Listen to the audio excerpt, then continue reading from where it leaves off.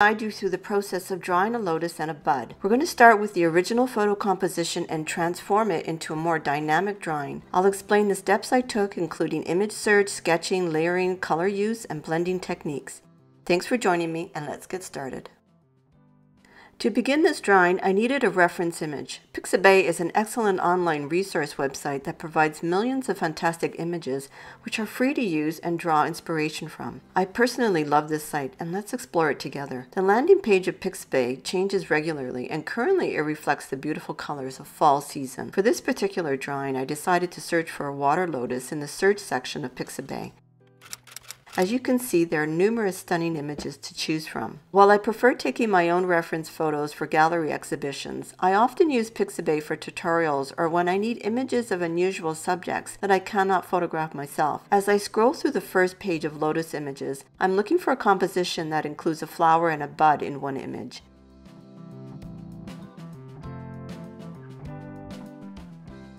I came across this image, which is exactly what I was looking for. To download it, I simply click on the download button and choose the highest resolution. The image then downloads to my iPad. Signing up for Pixabay is free, and all it requires is an email address.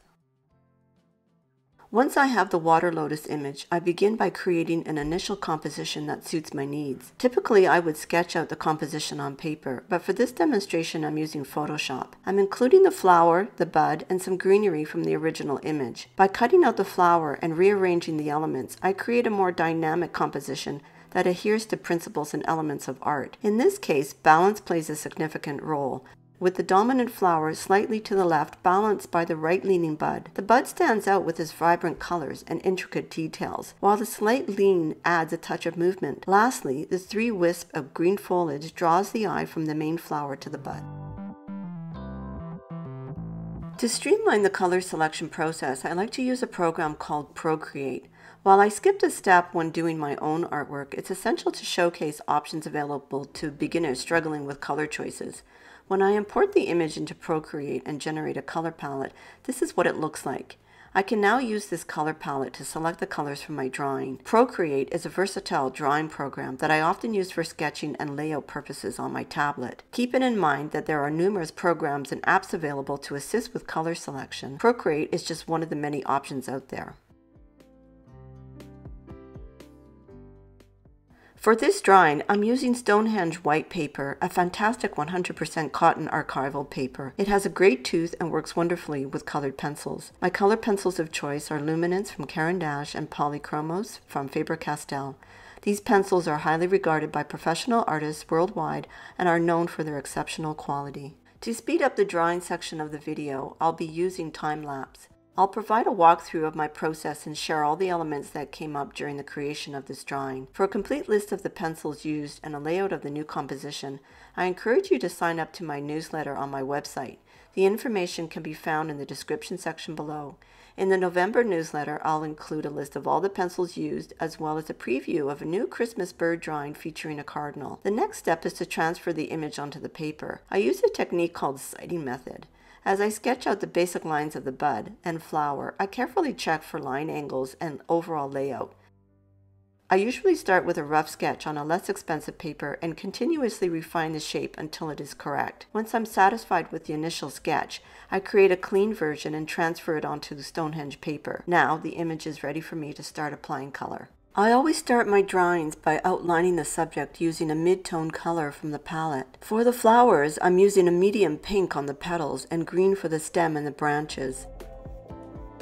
Once the outlines are done, I use a kneaded eraser to remove all the graphite from the paper. This step is crucial to prevent the graphite from muddying the colored pencil later on. Now let's focus on the bud. To create depth and dimension in my drawings, I rely heavily on layering. When working with lighter subjects like these flowers, I prefer to begin with the lightest hue available. In this case, I'm using a light yellow as a base layer for the entire bud. Considering the layers of colors, I always make it a point to analyze the overall image and understand the color palette. By comparing it to the reference photo I created, I can better grasp the colors at play. Looking closely at the color palette, I notice a predominant presence of cool colors, especially in the pinks.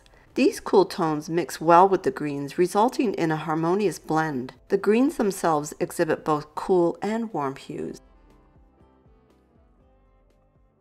Color temperature plays a vital role in creating a unified image. Sticking to a consistent color temperature allows us to achieve harmonious colors, an essential principle of art that brings artwork together. In this case, the pinks and greens flow seamlessly into the purples of the shadows, creating a pleasing visual harmony.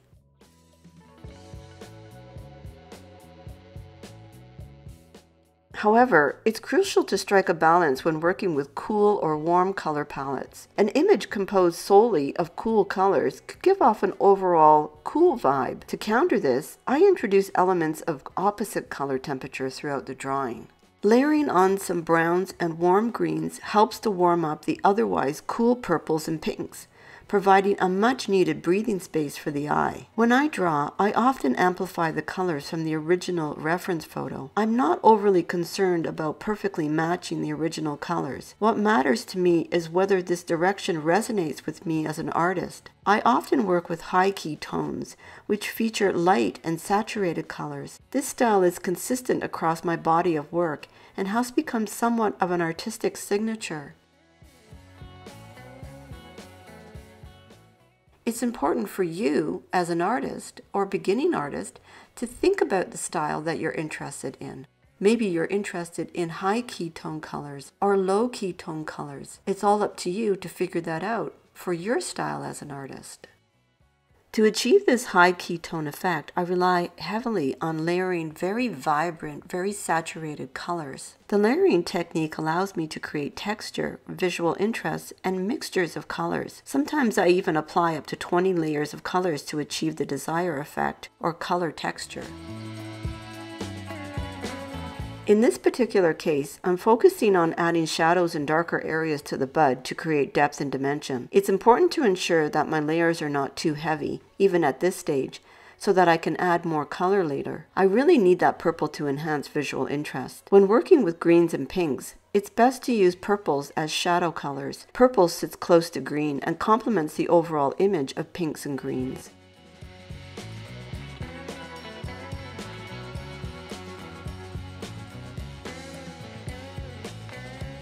To finish off the bud, I go over it with a blending pencil and some OMS mineral spirits. This technique helps push the color into the paper fibers and blends all the colors together seamlessly. Moving on to the main flower, I start by lightly adding a layer of cool pink to most of the petals. Unlike the bud, the flower contains more yellows and greens. I begin by gently applying the colors, barely pressing hard on the paper. Once I've achieved a good overall look for the flower, I start adding darker purples and pinks to slowly build up the shape and form of the flower. Drawing the flower and the bud took me approximately four hours from start to finish. Working with colored pencils requires patience. Take your time, build up the layers slowly, and you'll achieve great results.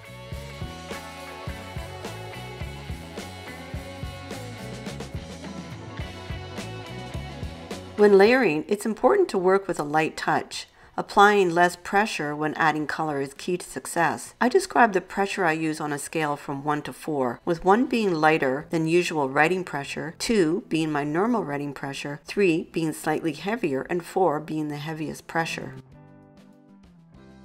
I'm working between different types of pinks right now and a little bit of purple. They range anywhere from a slightly warm pink to a little bit of a cooler pink. I keep layering all of these pinks on top of each other and darker pinks actually will help to create a little bit more shadows. I'm also using a variety of different types of greens, lighter greens and darker greens. This will also help to create a little bit more dynamic interest and visual language to the image.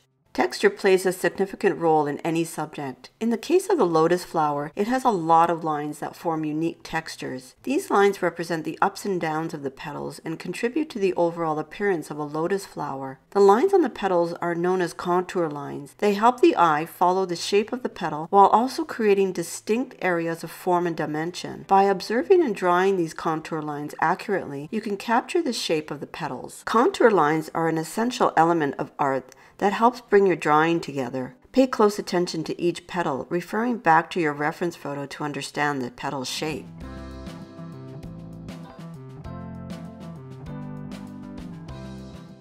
Adding texture to your work is an excellent way to create visual interest. However, it's crucial to find a balance and not overdo it, as it can overpower the image. Sometimes less is more, and a subtle hint of a line is better than too much or too little.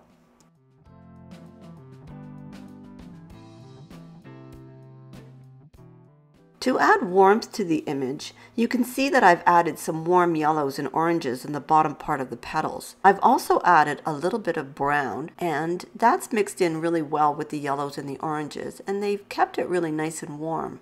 In this drawing, I used a range of pinks from cool to warmer tones. Blending these colors together provides a resting point for the eye and gives the image a lighter feel. The use of warm colors can convey the effect of sunlight or warm light illuminating the subject. To finish the image, I keep adding more greens and browns and reddish browns mixing, layering, and blending them all together. To get the dark shadows on the petals on the bottom, I'm mixing layers of dark warm greens with earth-toned browns and layering mixes of purple reds over it all to achieve some dark shadows for these areas.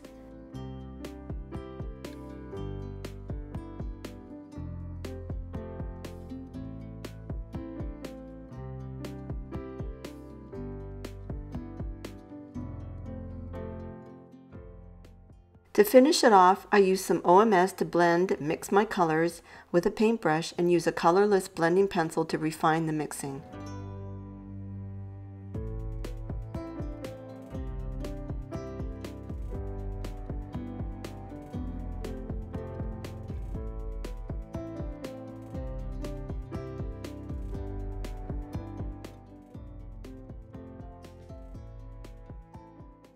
Conclusion, the work conveys a sense of fun, bright colors, more bright than the original, but I'm good with that. The idea is to have fun with what you're doing and keep building your skills. So thanks for joining me and happy drawing.